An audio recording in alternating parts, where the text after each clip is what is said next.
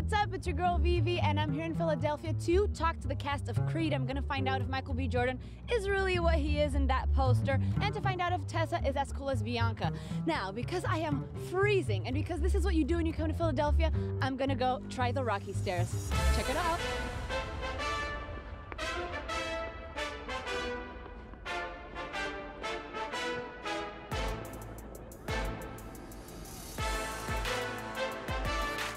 Everybody ready?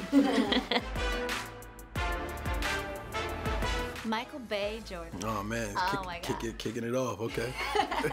You are so good and you look amazing. Thank you. Pecs, arms back, pecs, pecs, pecs. Adonis is a victorious fighter. He's a champ. But what would you say are his biggest flaws? His emotions.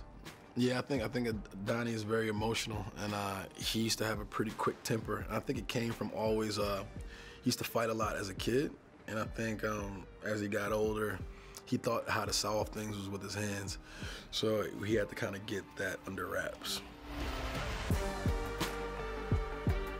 Role of women, it's very important in all the Rocky movies and Creed movies. What did you want to transmit with Bianca as that important role of woman in this movie? It's really great that Bianca is, you know, this this sort of person that keeps him honest, that is strong, is in his corner, but she also just has her own agency. I love in the first film that when he messes up, she's like, "Bye, mm-hmm. peace." You know, and then she disappears from the movie for a while because she's living her own life. And that's what's so exciting to me is that she feels like a woman that can occupy her own narrative um, and and that's so exciting coming back and getting to play this character because I feel like there's so much to explore and we've only scratched the surface.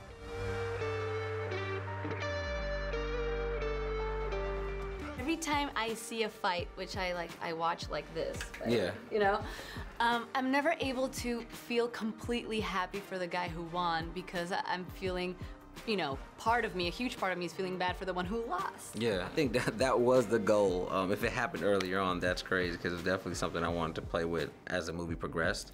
We just wanted drama in both corners, um, emotion on both sides. We wanted to elevate the stakes. We felt like we haven't seen that in a, a Rocky and Creed film Yeah. yet. You know, I think we've probably the eighth as so far as a fran- franchise. The second, obviously, for Creed 2.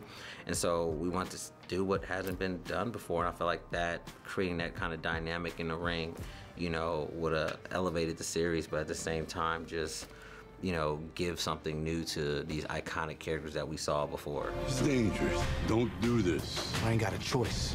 That's the same thing your father said, and he died right here in my hands.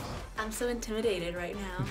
Oh, don't be, don't be. We go easy on you. I was going through your Instagram yesterday. Hope you enjoyed it. I, I really enjoyed it. Both of you are fighters in real life, Yeah. right? Do you think that in order to be a fighter, you have to have some sort of like unresolved anger inside to want to fight? Well, yes and no. I mean, I had it when I became a fighter. I had a lot of it because of my dad, as a matter of fact.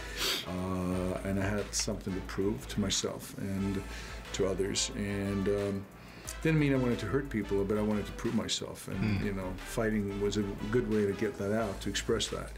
I think like it's in life in general, not not uh, only in, in fighting, that you have to have a background story. You have to have a story to tell.